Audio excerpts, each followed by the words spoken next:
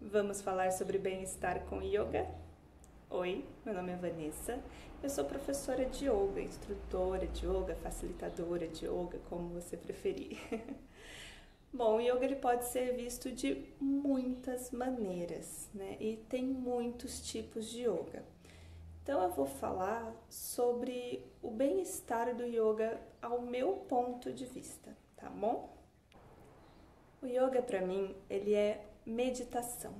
Pode ser uma meditação daquele jeitinho mais clássico que a gente conhece, né? O pessoal paradinho, sentadinho, olhos fechados, Jnana Mudra nas mãos, sobre os joelhos.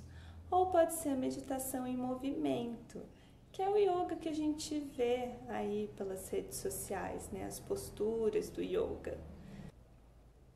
A meditação da forma mais clássica, né, é quando a gente se senta e tenta aquietar o corpo e a mente, ela pode ser feita de muitas maneiras. A gente pode prestar atenção na nossa respiração, pode prestar atenção nos batimentos cardíacos, pode prestar atenção nos sons ao nosso redor, nos cheiros ao nosso redor a gente pode fixar o olhar em um ponto, tentando não desviar o olhar. Nós podemos fechar os olhos e tentar não pensar em nada, né? Pode, ela pode ser feita de muitas maneiras diferentes. Eu acho que não tem um jeito certo de meditar. A ideia é o que? Você dá uma acalmada, né? Nós estamos em estado de alerta o tempo todo a vida, a sociedade, né, a modernidade traz muitas informações para nossa mente. A gente está o tempo todo acelerado, com muita informação ao nosso redor. Então, para mim, a ideia da meditação é dar uma aquietada né, nesses muitos estímulos. Então, pode ser você focar a sua atenção em alguma coisa ou tentar não focar em nada o que for melhor para você, né? Às vezes a gente tem aquela ideia de meditação que tem que ser feita às 5 horas da manhã, todos os dias, e não pensar em nada. Aí muitas vezes a gente não consegue fazer isso, isso provoca uma ansiedade, tipo, poxa, não consegui acordar às 5 horas da manhã, poxa, não tô conseguindo pensar em nada. E aí, se isso te cria uma ansiedade, é mais uma ansiedade para o seu dia. Né? Então, vamos tentar não transformar a meditação em mais uma obrigação a ser feita. A meditação é uma pausa, ela pode ser feita a qualquer momento que você precisar. Tá na fila do banco, por exemplo, tá na fila do supermercado, você não tem para onde ir, né? Se você quiser comprar aquilo, se você quiser pagar aquela conta, você precisa estar ali. Então para um pouquinho, aceita, né, que você está ali naquele tempo, naquele espaço. Tenta acalmar sua respiração e fica ali consciente daquele momento.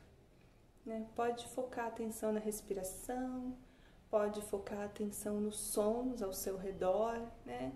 Escolhe um objeto do seu foco e tenta dar aquela acalmada, aquela relaxada vai tornar a experiência muito mais agradável do que ficar o tempo todo olhando no relógio, olha para os lados, né? Tipo, ai, será que vai faltar muito tempo? Eu tenho que fazer tanta coisa, né? E aquele monte de informação na cabeça. Não, é dar uma acalmada, dar uma respirada, aceita, né? Você não tem para onde ir mesmo, ou você aceita que se você quiser sair dali, você vai sair sem a compra ou sem pagar a conta. então, vamos tentar tirar essa obrigação da meditação. Se você consegue acordar todos os dias às 5 horas da manhã e fazer uma meditação, legal. Se você não consegue algum dia, não se culpa, tá? Porque a gente quer reduzir a ansiedade e não tornar, né, isso uma obrigação que vá aumentar a sua ansiedade. Então você pode fazer a meditação de muitas formas.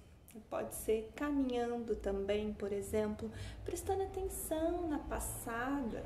Como você levanta o pé direito? Será que é igual a forma que você levanta o pé esquerdo? Como é a sua pisada no chão com o pé direito, com o pé esquerdo? Qual é o jogo do seu corpo nesse caminhar? Isso também é uma meditação, você está focando a sua atenção. É, você pode sentar, como eu disse, aquietar né, o corpo, tentar aquietar a mente. E assim a gente vai tentando diminuir um pouco os estresses, né? Tirar um pouco o multifoco da nossa mente, né? Tentar focar em uma coisa só. Para a gente poder se aquietar, né? Para a gente poder relaxar um pouco. Então a meditação ela pode ser feita de muitas formas. Sentado, na fila do mercado, caminhando. E, como eu disse também lá no comecinho do vídeo, a meditação em movimento. Claro que o caminhando já vai ser uma meditação em movimento, mas o que eu quero dizer com isso? A gente vê por aí é, Hatha Yoga, né? o yoga, as posturas do yoga com a permanência. Vinyasa Yoga, Ashtanga Yoga, as posturas do yoga com o movimento, né? aquele movimento fluido, sempre combinando movimento e respiração, sempre atento em como o seu corpo responde ao movimento ou à permanência, né? Se a gente quer desistir, sair logo daquela postura, se a gente fica ansioso para o próximo passo, como que o seu corpo se sente né, com aquele movimento ou dentro daquela permanência, se algum pontinho te chama mais a atenção, se quando você faz um movimento com o pescoço, nossa, você sente uma pontadinha aqui, e é sempre com esse movimento, por que será que acontece, né? Então é você se atentar ao seu corpo, né? Você usa o corpo e o movimento ou a permanência como foco, né? Essa é a meditação em movimento. E aí, é claro, né, o yoga ele tem sido muito popularizado como essa atividade física, né? Mas o, o físico ele é o de menos aqui. É claro que a gente precisa de um corpo, né, forte, resistente, porque o nosso corpo e a nossa mente caminham. A gente não pode pensar em uma coisa só e deixar o outro cair. Né? A gente encontra esse equilíbrio. É, então o yoga ele pode ser visto de muitas formas, né? E você pode praticar essa meditação de muitas formas, seja paradinho, seja em movimento. Encontra o jeito que faz bem para você né? Não precisa ser igual todo mundo.